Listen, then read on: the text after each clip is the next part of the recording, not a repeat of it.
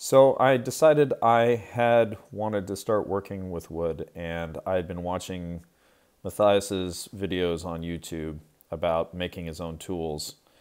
I found the Woodsmith Our Best Jig and Tool add-ons, and I decided I wanted to make something from it. So I decided that I was going to make this sander, and you can see the process I had in cutting everything out, assembling it. It was quite the project for somebody who had never really done anything like this before. Um, I really didn't have a lot of tools, but I went out to Harbor Freight and bought a cheap drill press, which made my life much easier. And you can see here that I'm installing the swivel and getting everything ready. Um, one of the things that was interesting at this point was I was working mostly with power tools, um, and I didn't really like that very much. This is kind of what led me to go into hand tools.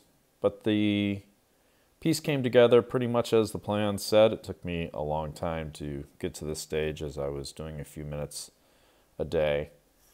Uh, the glue ups uh, came together nicely. Um, the instructions were really clear. I felt that this was a good first project.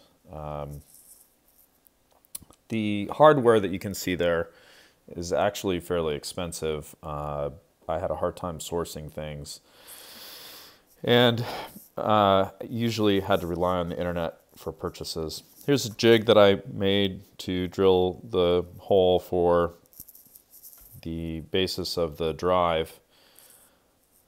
And here you can see me gluing up the drive. And here I'm roughing up the metal shaft in order to get it to adhere better.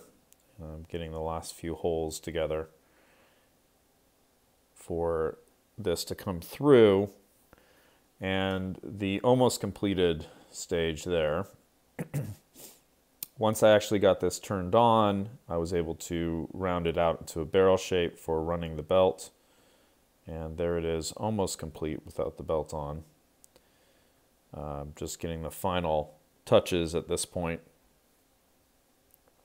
And here it is set up in my drill press, which turned out to be underpowered for this and actually not able to run it. Um, the drill press is fairly small. And here you can see it running. This setup has a fence so that you can get a 90 degree sanding. The board is there to push against to have extra stiffness, but it actually bogs down when you push really hard. This was an underpowered drill press for this. I actually had to modify the drill press to make it taller because otherwise I couldn't actually chuck this in. The nice thing about this is the free spindle over there actually allows you to do curves, but generally speaking, I don't use this anymore as it was somewhat underpowered for what I needed and needs to be chucked into my Shopsmith in order to work.